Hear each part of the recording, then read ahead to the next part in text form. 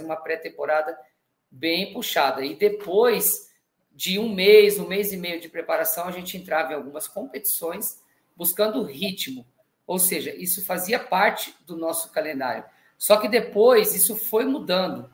Aí o, o ciclismo foi é, tendo mais provas e a gente teve que acabar é, é, se adequando às provas que estavam por vir, porque aí não, não parava mais. Só que assim, nenhum atleta, nem amador, nem profissional, nenhum consegue ter um bom desempenho durante 12 meses. Todo mundo sabe disso. Não é impossível. Durante 12 meses é muita coisa para que você esteja numa fase boa, para que você esteja se sentindo bem. Então aí a gente tinha que pegar e começar a abrir mão de algumas provas que a gente gostava de participar. Só que aí entrava uma reunião com a equipe, uma reunião com o patrocinador, aquela prova que havia interesse de cada um, que tinha especialidade, e aí a gente montava o nosso calendário, a gente montava o nosso, a nossa programação.